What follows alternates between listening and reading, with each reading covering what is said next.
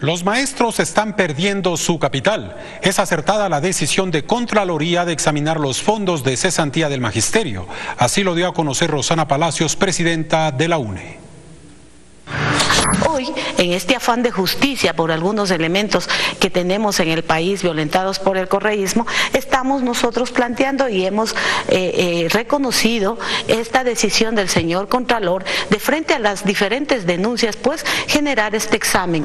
Dos aspectos fundamentales, el, cómo fue el traspaso, cuál fue el sustento legal, pero también cuál ha sido la forma de administrar, porque ahí está el dinero que no, ¿dónde está los 35 millones? están a cargo ahora de, este, de, administrar el Fondo de Cesantía del Magisterio van a tener que responder, porque los maestros dueños del dinero, los partícipes durante 20, 21, 23 años que tiene el Fondo de Cesantía del Magisterio Ecuatoriano, aportamos nuestro salario.